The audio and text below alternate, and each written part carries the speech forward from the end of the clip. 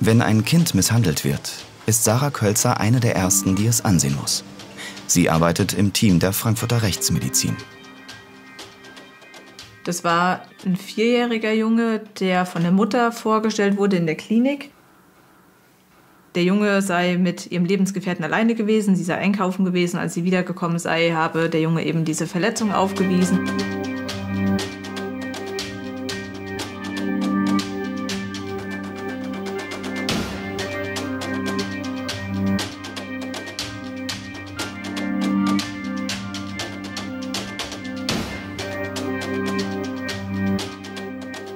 Wir sprechen in der Rechtsmedizin von einer geformten Verletzung, also was eben Rückschlüsse zulässt auf eine Hand.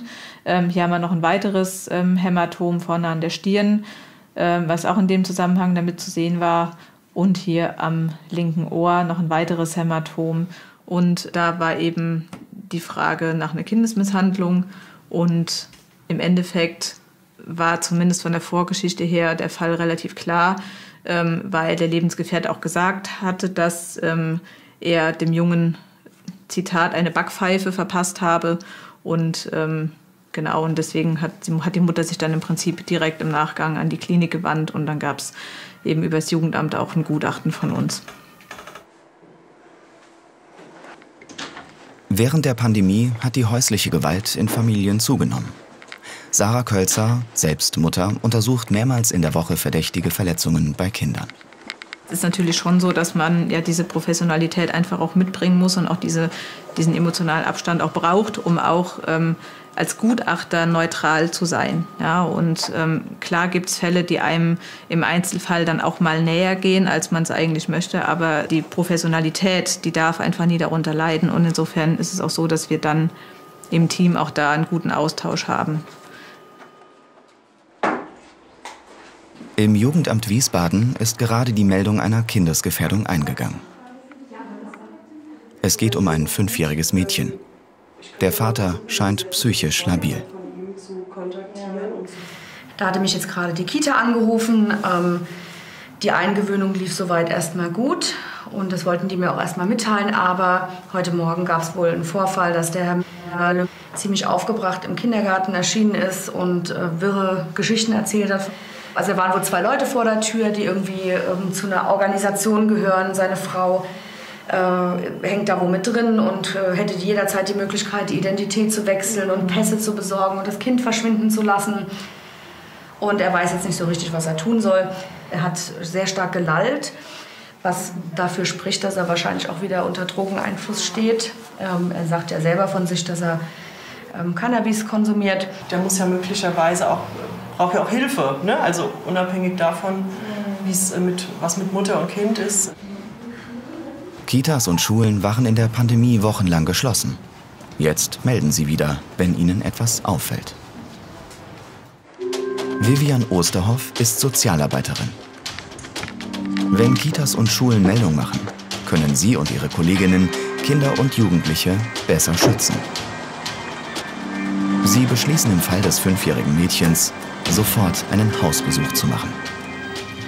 Also im Grunde genommen ist es immer so ein bisschen wie ein Überraschungsei, weil wenn man zu denen kommt, weil man es im Grunde genommen einfach nicht weiß, wie die gerade drauf sind. Ja, ich hatte ähm, bei Hausbesuchen äh, auch schon alles erlebt, ja, von freundlich und zugewandt bis äh, auf, äh, aufgebracht, wobei das äh, schnell schwanken kann. Sobald es ums Kind geht, werden die Leute ungemütlich, das ist aber auch klar.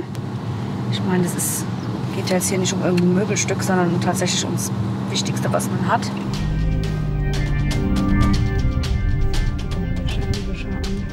Ich bin auch mal gespannt, in was für einem Zustand er jetzt ist, ja, weil der Kindergarten auch das ähm, also geäußert hat, dass sie das Gefühl hatten, dass er eben ähm, irgendwie Drogen genommen hätte heute Morgen. War das dann auch schon öfter der Fall, dass also, Drogen konsumiert oder was er Ich, ich weiß, naja, die haben beide eine, eine Vergangenheit äh, mit der Sache.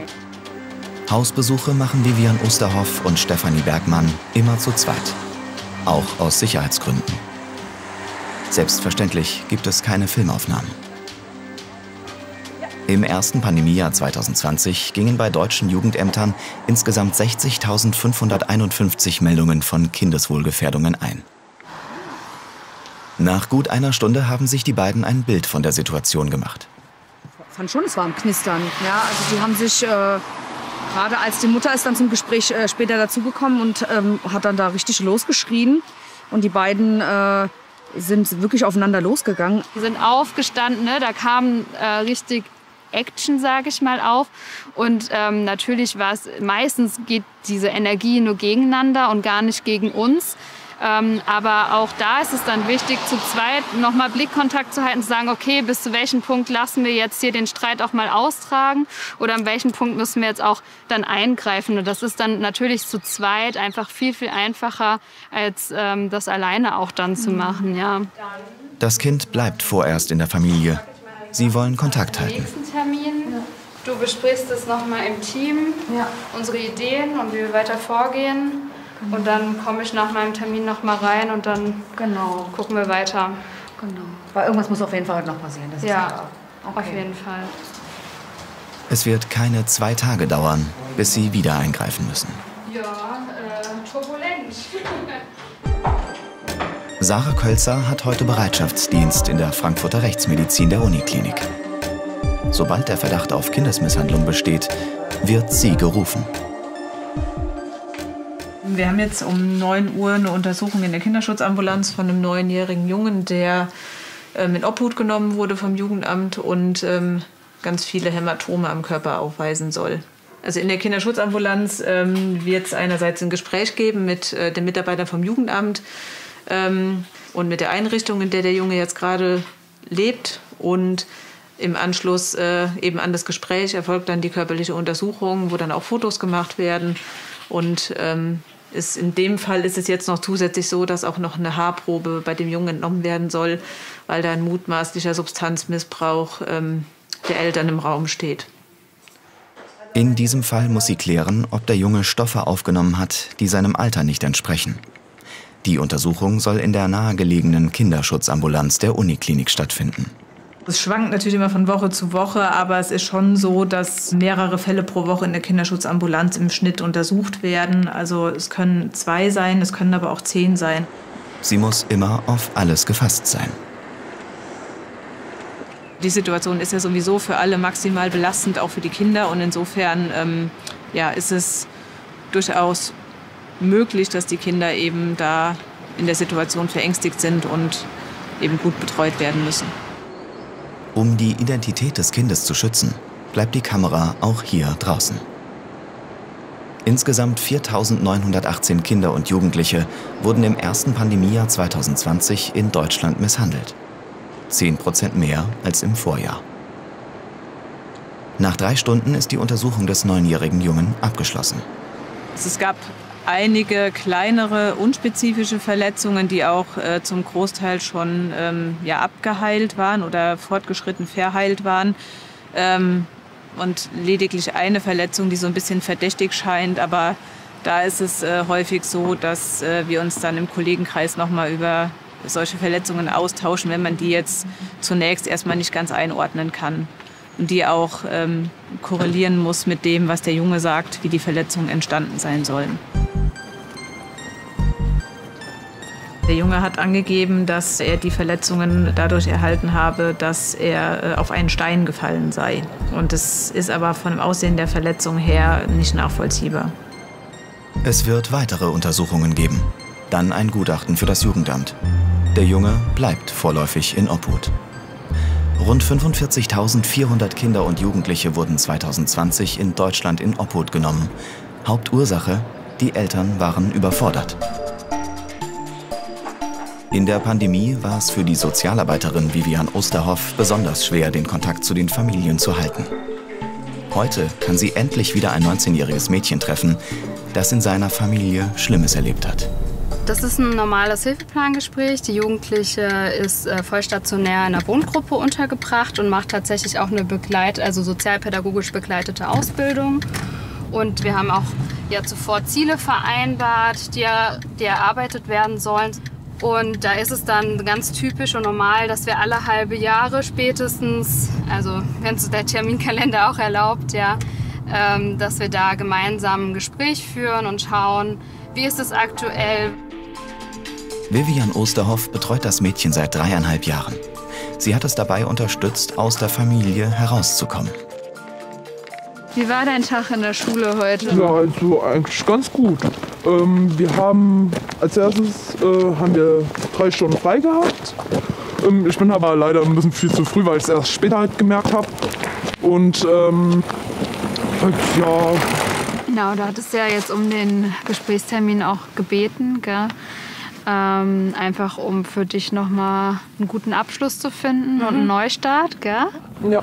Genau. Ähm, hast du dir schon mal Gedanken gemacht, äh, wie du da starten möchtest? Möchtest du erstmal gucken, was war früher und dann Mm. ist es heute oder? Wir können eigentlich von früher bis jetzt eigentlich anfangen. Ja, okay. Das hatten wir ja immer so gemacht. Ja, okay. Wir waren halt Schlagkinder. Wir wurden immer von unserem Vater geschlagen. Meistens wurde ich mit Gegenständen geschlagen, mein Bruder halt mit Fäusten, weil er sich halt wehren konnte und ich halt nicht. Und irgendwann mal, wenn man geschlagen worden ist, ja, nimmt man das irgendwann mal so hin, dann ignoriert man das auch irgendwann mal. Auch die Schmerzen ignoriert man dann auch. Klar, man weint unter der Decke oder so. Ja, aber äußerlich, ja, zeigt man halt keine Schwächen oder so. Ja, dann nur lieber Stärke. Und deswegen finde ich das halt gut, dass ich das meine Entscheidung genommen habe und die selber in die Hand genommen habe und einfach zu sagen, es ist, es ist vorbei, ich gehe jetzt, auch wenn es mir schwer gefallen ist. Als sie zwölf Jahre alt war, starb der Vater an den Folgen von Alkohol- und Drogenkonsum. Die Mutter fand einen neuen Partner. Der Stiefvater zog bald danach ein. Wo ich dann 16 geworden bin, ja, also herangewachsen als Frau dann irgendwann, ähm, hat er dann halt äh, gemeint, wo meine Mutter nicht da war, ähm, dass er halt Bilder von mir haben möchte. Und da habe ich halt gefragt, welche Bilder? Und er so, ja, ein bisschen Dessous, ein bisschen schicker Mickey, mal vielleicht mal auch ohne gar nichts. Also ohne Klamotten. Ja, und er würde es dann halt fotografieren. Und er würde sich auch die Pose aussuchen. Und er hat mir auch ein paar Bilder gezeigt und ja, das war schon wie, ähnlich wie so eine Prostituierte halt. Da habe ich gesagt, ich bin keine Schlampe, ich fühle mich dreckig, wenn ich sowas mache. Ja, du bist der Freund von meiner Mutter und ich finde es halt ekelhaft, sage ich mal. Du hast dich ja auch die ganze Zeit dagegen wehren können. Ne? Es ist ja, Ja, es sind ja keine keine- Bilder entstanden. Nee. Ne? Und da habe ich dann halt irgendwann die ganze Zeit Nein, Nein, Nein gesagt und mich die ganze Zeit auch wiederholt. Und bin auch immer wieder zu meiner Mutter gerannt, habe sie ihr auch direkt gesagt, was sie auch von mir wollte. Aber sie hat es nicht geglaubt. So, wenn man es das gibt einfach Grenzen, Ja. die eingehalten werden müssen. Und die hast du ja, Ja. deutlich gesagt. Ne? Und die wurden irgendwie nicht wahrgenommen. Ne? Ja, und er hat äh, gemeint, und immer bei meiner Mutter, nein, stimmt nicht, stimmt nicht, ich habe sie lieb wie eine eigene Tochter und alles. Das muss man auch mal erst schaffen, sich so davon abzugrenzen, dass Ja, du so oft Nein gesagt hast. Ne? Das zeugt auch davon, dass du es schaffst, dich auch von anderen abzugrenzen. Das ist auch total mutig, dass du es überhaupt geschafft hast. Und dann war es auch mutig zu sagen, nee, ich möchte auch nicht mehr nach Hause. Und dann ähm, ja, war das ja auch gut, dass wir dabei waren, dass wir auch sagen können, okay, wir suchen für dich was, wo du unterkommen kannst, ne? Erstmal. Und dann schauen wir weiter, wie es sich entwickelt. Und entwickelt hat sich dann so, dass es dauerhaft geblieben ist. Ne? Mit 16 hat sie den Kontakt zu ihrer Familie ganz abgebrochen. Sie zog in eine sozialpädagogisch begleitete Wohngruppe. Nach einer Therapie ist sie jetzt in einer Ausbildung. Ja, und das läuft ja echt super, ne? Also, wir hatten ja das Hilfeplangespräch und da haben ja alle nur in höchsten Tönen gelobt, Schule läuft, die praktische Arbeit läuft. Also genau, da kannst du echt stolz auf dich sein. Ja. Wie schön. Ah, Da hast du echt eine tolle Entwicklung hingelegt, ne? Ja, ich bin auch sehr froh darüber.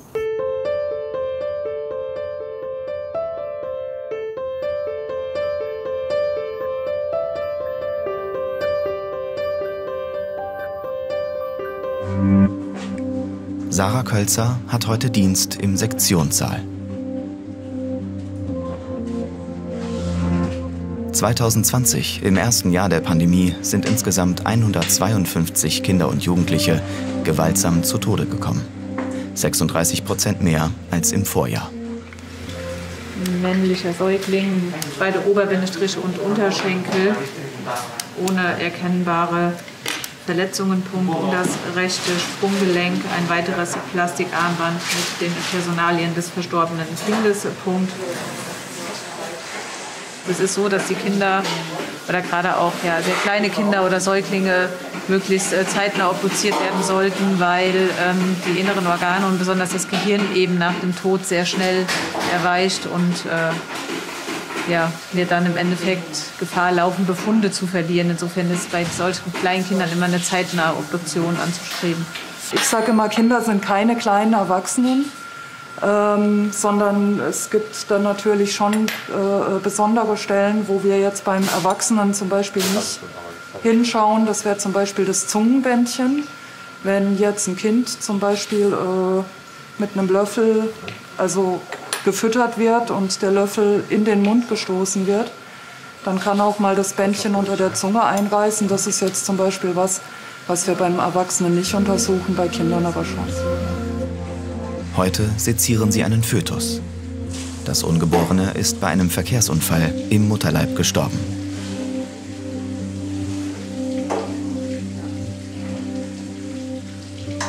Wenn es äh, infolge eines Unfalls Todesopfer gibt, in dem Fall ist es eben das ja, Ungeborene oder dann später Neugeborene gewesen der Frau, ähm, dass es da ganz grundsätzlich erstmal um den Ausschluss eines Fremdverschuldens geht um äh, die Frage zu klären, was zum Tod des Kindes letztendlich geführt hat. Mit dunkelblonden Haaren. Kleine Pinzetten bitte, vorne klein. Bewachsenenpunkt. Stefanie Plenzig hat schon einige Kinder seziert, die durch Misshandlung starben. Gegeneinander verschiedlich, Da war ich noch äh, Assistenzärztin und da haben wir ein schwer misshandeltes Kind äh, obduziert. Das Kind wurde geschüttelt und mit dem äh, Kopf äh, gegen einen festen Untergrund gestoßen. Gegen was können wir nicht genau sagen. Und das hatte zahlreiche Bissverletzungen. Das hatte ich vorher noch äh, lebend äh, gesehen im Rahmen der klinisch-rechtsmedizinischen Untersuchung ähm, und ist dann im Verlauf aber an äh, schweren Verletzungen verstorben. Schütteltrauma ist die häufigste, nicht natürliche Todesursache bei Säuglingen. Sarah Kölzer hat Anfang 2021 das erste Mal ein Kind obduziert, das gewaltsam zu Tode gekommen ist. Über diesen Fall darf sie erst sprechen, wenn sie ihr Gutachten im laufenden Strafverfahren vorgetragen hat. Ein junger Vater ist wegen Totschlags angeklagt. Im Jugendamt Wiesbaden hat Vivian Osterhoff wieder ein Hilfeplangespräch. Heute mit einer Mutter, die sie lange nicht persönlich treffen konnte. Die alleinerziehende Mutter hat Probleme mit ihrer Tochter. Ähm, wir hatten ja miteinander telefoniert und äh, sie haben uns ein bisschen berichtet, dass es gerade wieder ein bisschen schwierig zu Hause ist. Ja. Aktuell sind es halt Streitereien in der Schule, insgesamt Schwierigkeiten, so dass sie halt äh, sich auch sträubt, jetzt in die Schule zu gehen. Ne? Wie macht sich das aktuell zu Hause bemerkbar? die, ähm, die Situation mit der Schule. Sie neigt dann halt schon dazu, ihre äh, Wut auszuleben, indem sie dann halt aggressiv wird oder halt ihre Gefühle nicht mehr unter Kontrolle hat. Die Tochter wurde so aggressiv, dass sie ihre Mutter schlug. Jetzt hat die Frau Angst, dass das wieder passiert. Damals war es ja auch die Situation so gewesen, dass ähm, zu Hause die Situation ja auch eskaliert ist. Das war wie Dynamit einfach. Also egal, was man gesagt hat, es kam nicht mehr an. Und äh, es ist halt sehr, sehr viel zu Bruch gegangen. Also sie hat dann halt mit Sachen geschmissen, mit Porzellan, Teller, Schüsseln, was er halt zu greifen gekriegt hat, weil sie sich einfach nicht mehr im Griff hatte. Und ab einem gewissen Punkt war es ja dann auch so, dass ihre Tochter dann auch mal für eine kurze Zeit auch fremdplatziert wurde. Ne? Das hat aber nichts damit zu tun, dass ich zu blöd bin, ein Kind zu erziehen. Es ging Nein. einfach darum, dass äh, es funktionierte einfach nicht mehr. War das für Sie auch eine Entlastung, auch im ersten Moment erstmal? Oder wie war das? Im ersten Moment war es einfach nur schrecklich. Ja. Sie war nicht mehr da. Ja. ja. Aber es war ja meine Entscheidung. Ich bin ja nicht dazu gezwungen worden vom Jugendamt oder so. Sie müssen jetzt das Kind. Nein, es ging einfach nicht mehr. Das wusste ich. Aber ähm, ich sag mal, die erste Woche habe ich nur geheult. Aber ich habe sie nie im Stich gelassen, auch egal was sie für Mist, und sie hat wirklich Mist gebaut, muss ich wirklich sagen, ja. Nach einiger Zeit konnte die Tochter zurück nach Hause. Jetzt droht die Situation wieder zu eskalieren. Aggressivität von Kindern gegenüber ihren Eltern. Solche Fälle nahmen in der Pandemie zu. Wir sind ja auch manchmal ein bisschen ne, auch als Vermittler und ähm, wir haben ja auch immer Kontakte auch zur Schulsozialarbeit und die Schule steht ja auch in einer gewissen Verantwortung. Ich war jetzt einfach in den Situationen nicht dabei. Ne? Das ist immer für mich schwierig zu beurteilen. Aber ich denke, wenn wir einfach mal ein offenes Gespräch noch mal führen und unsere Unterstützung ist es dann quasi ein bisschen zu vermitteln, auch uns noch mal ein Bild auch von der Schulsituation zu machen. Vielleicht haben die Lehrer ja auch schon Ideen entwickelt. Sie wird einen Termin mit der Schulsozialarbeiterin vereinbaren. Sarah Kölzer beschäftigt sich immer noch mit dem Fall des toten Babys. Heute hat sie einen Termin bei ihrem Institutsleiter, Professor Marcel Verhoff. Danke. Bald muss sie ihr Gutachten vor Gericht präsentieren. Ich wollte Ihnen noch mal ganz kurz den Duktus, das Ergänzungsgutachten für... Ja, ja. Ja, Das hatten Sie angekündigt. genau, hatte ich angekündigt. Ähm, genau, ich habe jetzt auch schon einiges an Literaturrecherche bis dato gemacht. Und jetzt haben wir aber die nächste Frage. Können diese Verletzungen, die wir ja gefunden haben, können die von einem anderen Ereignis herrühren? Also kann es sein, dass das Kind eben Verletzungen, zum Beispiel durch einen Unfall, aber vielleicht auch durch ein festes Anfassen, erlitten hat, vor dem eigentlichen todesursächlichen Ereignis? Aber es, klar, wir sind im Strafrecht. Und das heißt immer äh, im Zweifel für den Angeklagten. Ja, oder wir wollen umgekehrt natürlich eine sehr hohe Wahrscheinlichkeit haben, müssen wir haben. Denn keinesfalls möchte man Eltern für irgendeine Tötung verurteilen, die äh, das nicht getan haben und noch schlimmer, äh, die eben dann durch einen Unfall ihr Kind verlieren und äh, deswegen dann noch verurteilt werden. Ja.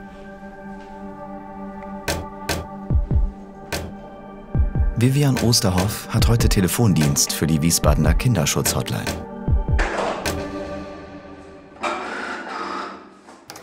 Osterhoff von der Bezirkssozialarbeit Wiesbaden. Genau, dann erzählen Sie doch mal kurz, ähm, worum es geht. Die erste Meldung heute Morgen kam von der Polizei. Es ging um die Familie, bei der sie erst vor zwei Tagen einen Hausbesuch gemacht haben. Der psychische Zustand des Vaters hat sich verschlechtert. Zwei Kolleginnen sind schon unterwegs. Okay, jetzt muss ich mich kurz sortieren. Ah, ist wieder da. Hi, und? Oh, ja. Ja. Genau, also hat sich im Grunde bestätigt, das war jetzt doch vor Ort doch nochmal so akut, ähm, dass äh, wir wirklich den Obhutnamen ausgesprochen haben. Beide Eltern wissen jetzt Bescheid, ähm, haben das auch entsprechend aufgenommen. Über Nacht hatte sich die Situation in der Familie mit dem psychisch labilen Vater zugespitzt. Jetzt entscheiden sie, beide Eltern können sich im Moment nicht genug um das Kind kümmern. Das Mädchen ist gefährdet. weil auch wegen den Verschwörungstheorien und dem Verfolgungswahn, ähm, Ja. da ist es eh besser, wenn es auch vor das Familiengericht geht und wir Ja. dann da weiter klären, Ja. wie es weitergeht und auch was die Erziehungsfähigkeit angeht. Da bewegen wir uns einfach in einem sicheren Rahmen. Ja. Genau. Aber guck mal, wie das wieder war, ne, am Mittwoch. Ich, wir gehen noch raus, ich sag noch, das Bauchgefühl sagt irgendwie, das, da wird noch was kommen. Ne? Und das war wieder so von der Risikoabschätzung her, da stehst du da und hast Bauchschmerzen, weil du denkst irgendwie, ne? Aber es, wird, es reicht nicht aus in dem Moment. Ich hätte nicht gedacht, dass es so schnell passiert, ja, aber ähm, letzten Endes, äh, tja, Genau. siehst du mal, wie schnell das auch kippen kann wieder, ne? Also ich bin froh, dass das Kind jetzt geschützt ist. Ja. Sarah Kölzer wird heute ihr rechtsmedizinisches Gutachten vor Gericht vortragen. Seit Monaten beschäftigt sie der Fall des acht Wochen alten Babys, das Anfang 2021 starb. Das ist eine Gerichtsverhandlung gegen einen jungen Mann, der angeklagt ist, sein Kind getötet zu haben. Es ist so, dass äh, im Vorfeld ähm, von rechtsmedizinischer Seite umfangreiche Untersuchungen gemacht wurden. Der Fall wird pandemiebedingt in einer provisorischen Außenstelle des Landgerichts Wiesbaden verhandelt. Die Staatsanwaltschaft wirft dem jungen Vater vor, den Säugling schwer misshandelt und erstickt zu haben. Gleich wird Sarah Kölzer ihr Gutachten vorstellen. Halt irgendwie mal spannend zu klären, ob das mit der Technik alles funktioniert. Das habe ich ein bisschen Babbel vor, ehrlich ja, gesagt. Ich hoffe Das ist diese, die Hebamme, ne? Das ist die Hebamme, genau. Mutter, Großeltern und Freunde haben schon ausgesagt. Das Baby habe viel geschrien. Die jungen Eltern schienen überfordert. Niemand aber will etwas von schweren Verletzungen bemerkt haben. Sarah Kölzers Befunde sollen helfen, die Wahrheit herauszufinden. Zweieinhalb Stunden dauert der Vortrag der Rechtsmedizinerin. Jetzt kennen alle das Ausmaß der Verletzungen. Das Baby hatte zahlreiche alte und neue Rippenbrüche, Hautverletzungen im Nacken, Hämatome an Stirn, Nase und Wange. Wie das Baby misshandelt worden sein könnte, zeigt sie mit einer Puppe. Das Kind ähm, ist eben so oder muss so gehalten worden sein, ähm, damit man überhaupt diese Art von Rippenbrüchen erzeugen kann und dass es eben in dem konkreten Fall jetzt auch mehrzeitige Rippenbrüche waren, also eben Rippenbrüche, die zu verschiedenen Zeitpunkten entstanden sind, ähm, sowohl frisch waren als auch schon ähm, in Abheilung begriffen. Und dass es eben, wie gesagt, mit so einer Dummypuppe eben doch noch mal viel besser ähm, anschaulich zu machen wenn man jetzt eben davon spricht, dass Mund und Nase gewaltsam ähm, zugehalten wurden, also dass man eben äh, zum Beispiel ähm, ja, mit dem Umgreifen ähm, der, der Hände oder der Finger als Erwachsener mit dieser Art von Einwirkung in der Lage ist, Mund und Nase zuzudrücken und das ähm, könnte dann zum Beispiel auch erklären, dass wir hier eben in der Hinterohrregion oder im Nacken dann eben ja, Verletzungen haben, die zum Beispiel durch Fingernägel entstanden sein könnten. Ja. Und dass das eben nahelegt, dass es eben kein einmaliges äh, Zudrücken war, sondern dass es äh, viel mehr dafür spricht, dass es ja verschiedene Handlungen ähm, ja, gewesen sind. Der Vater hat ausgesagt, er habe dem Kind nur kurz die Hand auf Nase und Mund gehalten. Bei einer Verurteilung wegen Totschlags können ihm mehrere Jahre Haft drohen. Bei der Urteilsverkündung wird Sarah Kölzer nicht dabei sein. Ich habe mich ja schon viele, viele Monate mit dem Fall beschäftigt im Rahmen der Gutachtenerstellung. Und ähm, von daher ähm, ist jetzt der heutige Tag äh, für mich dass ich sagen kann, ja, es ist eine gewisse Erleichterung da. Ähm, und ich kann dann schon auch, das, das lernt man mit der Zeit und bringt es zum großen Teil halt in dem Fach auch schon mit. Es ist schon so, dass man dann auch die Distanz äh, hinkriegt. Und wenn ich nach Hause komme, warten zwei kleine Kinder auf mich, die mich brauchen. Und dann ist erstmal das, was auf der Arbeit gewesen ist, erstmal passé. Und ähm, klar, auch ich muss das sacken lassen. Und ähm, jetzt ist das Gericht eben am Zug. Hätte das Baby ohne Pandemie eine Chance gehabt? Zu viele im Umfeld haben weggesehen. Jugendämter sind jetzt wieder schneller zur Stelle.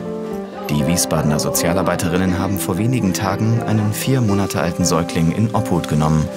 Jetzt haben sie für das Kind und die überforderte Mutter eine Lösung gefunden. Im Nest, einer Einrichtung für Mutter und Kind. Wir wollten da noch mal kurz besprechen, wie jetzt die Aufnahme abläuft, wann der Kleine aufgenommen werden kann und Genau, wir hatten ziemlich viel Kontakt in der letzten Woche schon mit den Eltern und haben da einiges organisiert. Wir haben jetzt für um elf nochmal einen Kinderarzttermin vereinbart mhm. äh, zur Kontrolle. Und im besten Fall würden wir danach die beiden hier aufnehmen. Wir haben Sehr das gut. Zimmer schon vorbereitet, das ist alles soweit gerichtet. Super. Ja, jetzt bin ich ja auch heute zum ersten Mal tatsächlich da. Vielleicht können Sie einfach noch mal ein bisschen erzählen, wie Sie arbeiten. Es geht ganz viel um das Babyhandling, um die Bedürfniserkennung, dass wir so gucken, an welchem Stand ist die Mama ähm, dann gucken wir, inwieweit beziehen wir den Papa schon mit ein. Ähm, aber unser Fokus liegt erstmal auf der Mama als Hauptversorger. Nach vier Monaten würden wir eine Empfehlung abgeben, ähm, in welche Richtung das Ganze läuft, ob wir das hier gut schaffen konnten, die Mama zu befähigen, dass sie ähm, mit dem Kind in einer Mutter-Kind-Einrichtung oder mit einer ähm, Familienhilfe nach Hause gehen kann. Da müssen wir dann einfach schauen, was sich da noch so ergibt. Das Zimmer für den Kleinen ist schon vorbereitet. Tagsüber darf die Mutter hier sein, kann lernen, sich um ihr Kind zu kümmern. Prima. Okay. Und freut sich natürlich auch, äh, ihren Sohn wieder mehr zu sehen ja. und hier zusammen mit ihm sein zu können. Ja. Also, genau. Das ist schön.